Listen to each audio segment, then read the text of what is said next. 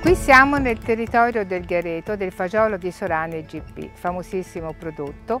Questo è il territorio di produzione fatto di sabbia e ghiaia, povero di calcio, che non ha buccia, oltre un sapore particolare, diciamo, un leggero retrogusto di castagna che è il sapore del nostro territorio. Questo fagiolo era famoso anche nell'antichità, infatti era conosciuto, chiamato apposta fagiolo dei musicisti, conosciuto da Giacomo Puccini, che qui nel territorio di Pescia, Uzzano, ha composto il secondo e terzo atto della Boeme. Dopo la seconda guerra mondiale chiaramente questi campi rimasero abbandonati perché eh, i produttori cercavano lavoro in città nelle fabbriche e quando mio marito in particolare si è appassionato della storia di questo prodotto ha detto no, non può morire un prodotto così particolare e insieme agli altri produttori ha creato la nostra associazione, il Gareto appunto Onlus e nel 2002 abbiamo avuto il marchio europeo.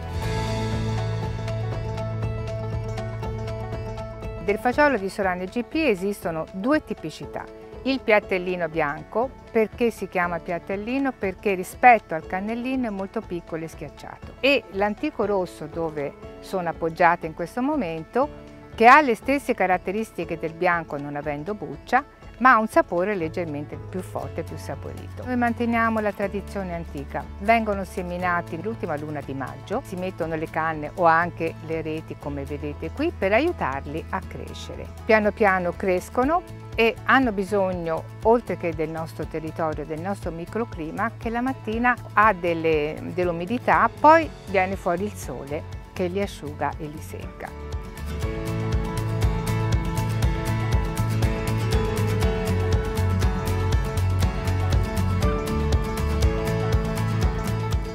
Verso i primi di settembre, vengono raccolti, poi asciugati con la buccia sempre, spianati, messi al sole ad asciugare, poi vengono eh, battuti come si faceva una volta nei sacchi di paglia, poi vengono agusciati, stesi su un tavolo con un panno verde o nero, in modo che si possa sceglierli uno per uno perché essendo un prodotto molto prezioso e particolare nelle confezioni non ci deve essere un fagiolino macchiato. Mi raccomando, il fagiolo di Sorana dovete acquistarlo solo e soltanto confezionato nel suo sacchettino e con il suo cartellino, con il suo logo che è sul nostro disciplinario.